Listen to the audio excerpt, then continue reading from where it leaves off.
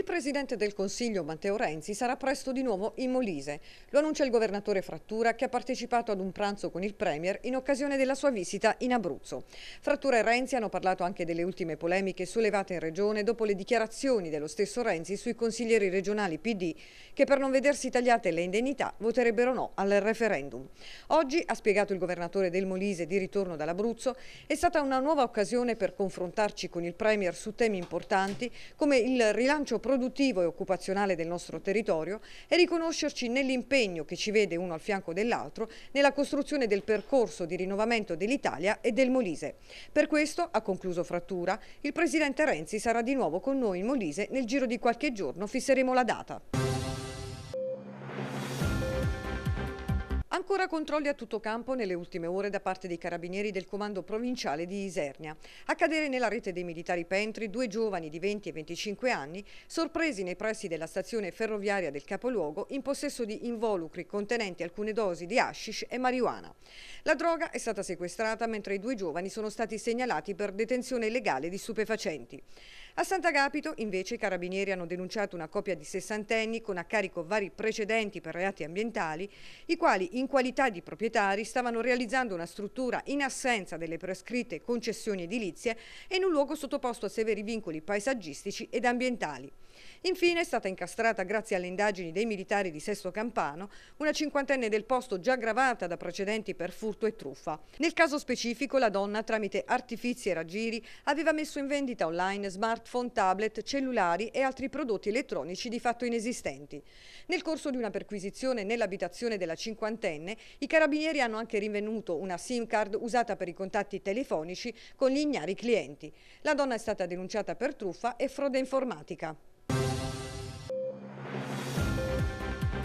Il rapporto Svimez mette in evidenza la crescita del PIL nel mezzogiorno. Si tratta di un cambio di passo particolarmente significativo in quanto interviene dopo un settennio di ininterrotta riduzione del livello del prodotto rilevabile in tutte le regioni. Questo è il commento della leader della Will Molisana, Tecla Boccardo, che aggiunge Tutte le regioni meridionali interrompono la recessione, ma la notizia che più ci fa piacere è che il Molise, con Basilicata e Abruzzo, guida la ripresa. Una crescita, spiega la Boccardo, dovuta a turismo e agricoltura, cultura, ma anche all'accelerazione della spesa dei fondi comunitari 2007-2013.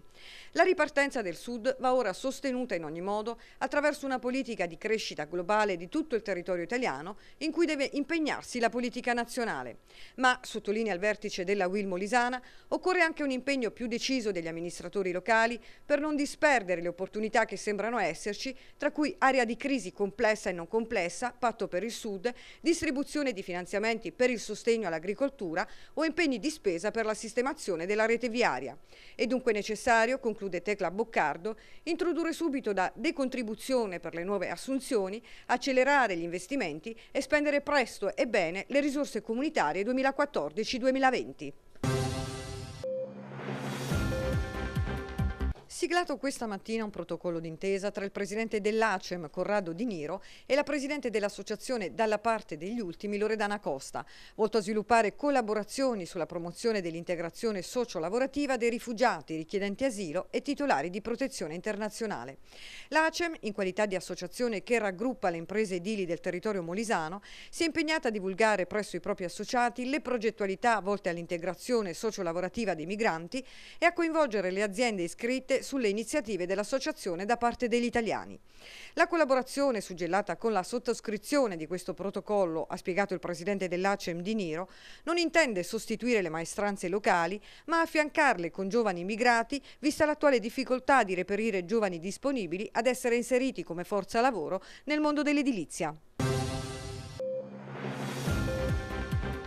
ANAS ricorda che a partire dal prossimo 15 novembre fino al 15 aprile 2017 sarà in vigore l'obbligo di viaggiare con catene a bordo o pneumatici invernali sulle strade statali maggiormente esposte al rischio di precipitazioni nevose o formazioni di ghiaccio.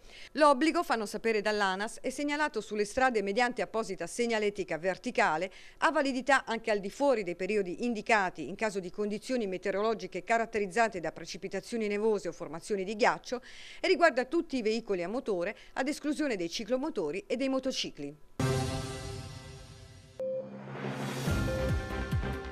Inaugurata questa mattina in piazza Aldo Moro a Pozzilli la casetta dell'acqua. Si tratta di un nuovo servizio che l'amministrazione comunale guidata dal sindaco Stefania Passarelli ha inteso mettere a disposizione dei cittadini. Da oggi infatti sarà possibile rifornirsi di acqua a volontà, naturale, frizzante e ionizzata a bassissimo costo. Un modo per salvaguardare l'ambiente in quanto sarà ridotto l'uso di bottiglie di plastica e anche per risparmiare. L'acqua erogata dai distributori della casetta potrà essere acquistata mediante una scheda prepagata già consegnata ai presenti al momento dell'inaugurazione, ma che potrà essere ritirata in seguito anche presso lo sportello comunale di Via Roma, oppure inserendo direttamente delle monete all'interno del distributore. Si potranno inoltre acquistare le bottiglie con il cestello o usare normali bottiglie di vetro per prelevare l'acqua. Con la vittoria di Donald Trump probabilmente dovrò trasferirmi in Molise. Così il noto attore statunitense di origini italiane Robert De Niro, ospite dello show di Jimmy Kimmel, commenta ironicamente l'esito delle elezioni presidenziali USA. L'attore, che aveva usato parole durissime contro Trump durante la campagna elettorale, durante lo show televisivo ha ricordato le origini della sua famiglia di Ferrazzano, vicino Campobasso, in Molise, ed ha anche ricordato di avere la cittadinanza italiana. Probabilmente ora dovrò trasferirmi lì, ha concluso scherzando De Niro.